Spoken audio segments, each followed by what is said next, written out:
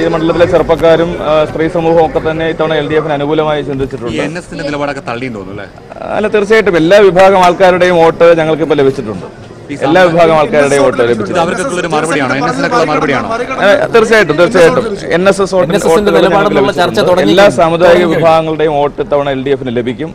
അത് ഏതെങ്കിലും തരത്തിലുള്ള ആഹ്വാനങ്ങളുടെ ഭാഗ- ഭാഗമായിട്ടൊന്നും കാണുന്നില്ല. ഈ മണ്ഡലത്തിൽ പ്രബുദ്ധരായിട്ടുള്ള ജനങ്ങളുടെ മനസ്സാണത് കാണിക്കുന്നത്. അത് എൽ ഡി എഫിന് അനുകൂലമാണ്. തീർച്ചയായിട്ടും ഈ ഒരു ട്രെൻഡ് ഞങ്ങൾ നിലനിർത്തും. സ്ഥാനാർത്ഥി എന്ന നിലയിൽ ഞാനൊരു ലീഡ് പറഞ്ഞിരുന്നു. അതിലേക്ക് തന്നെ എത്തും എന്ന് ഇപ്പോഴും ഞാൻ ഉറച്ച് നിൽക്കുകയാണ്. ഏഴ് മുതൽ പതിനായിരം വരെ. അതെ അതെ അതെ. സെവൻ ടു ഫിഫ്റ്റിയാണ് ഞാൻ പറഞ്ഞത്.